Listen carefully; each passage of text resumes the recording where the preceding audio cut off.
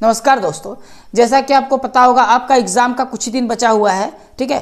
तो जो एग्ज़ाम का टाइम तो बहुत कम है तो इसमें कुछ इंपॉर्टेंट क्वेश्चन है सिलेक्टेड क्वेश्चन है, जो झारखंड बोर्ड में, यानी क्लास टेन का जो बोर्ड परीक्षा होने वाला है 2023 में, वो जेक बोर्ड में त्रिकोणमिति से जो सवाल मतलब 99 परसेंट चांस है कि पूछे जाएँगे, उनमें से कुछ सवाल को हम लोगों ने जो सेलेक्ट किया है और सेलेक्ट करके आपके सामने लिखा है और उसको सॉल्व करेंगे। तो हम लोग प्रत्येक दिन एक दो क्वेश्चन को सॉल्व करके जाएँगे जो एग्ज़ाम की दृष्टि से अति इंपॉर्टेंट है।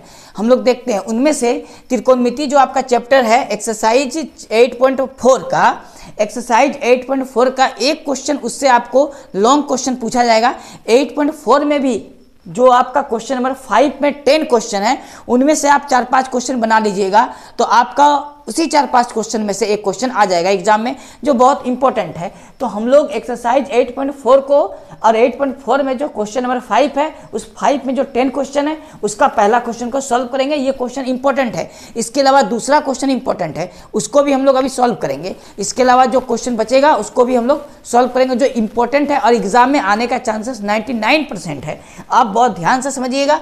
आपने पहले ही इस क्वेश्चन को सॉल्व कर रखा होगा, फिर भी अगर आपने सॉल्व कर रखा तो केवल क्वेश्चन क्वेश्चन मैं आपको जो बता रहा हूँ, वो क्वेश्चन को आप नोट कर लीजिए, आपको एग्ज़ाम में मिल जाएगा। वो क्वेश्चन आता हुआ, ठीक है?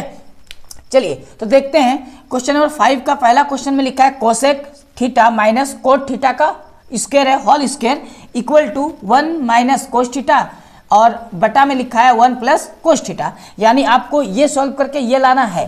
तो हम लोग सबसे पहले सॉल्व करेंगे और लिखेंगे एल तो आपको पता होगा कि एल कितना दिया हुआ है?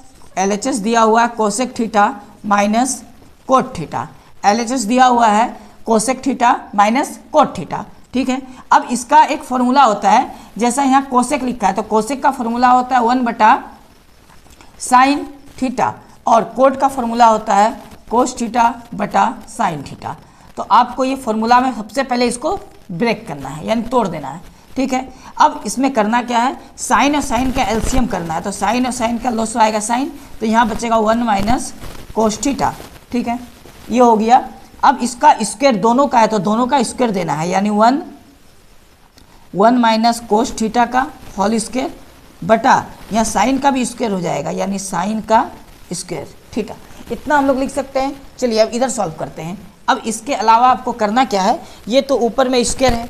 यानी वन माइनस कोस थीटा का होल स्क्वेयर बटा, हम लोग साइन स्क्वेयर को लिख सकते हैं, one minus cos square theta.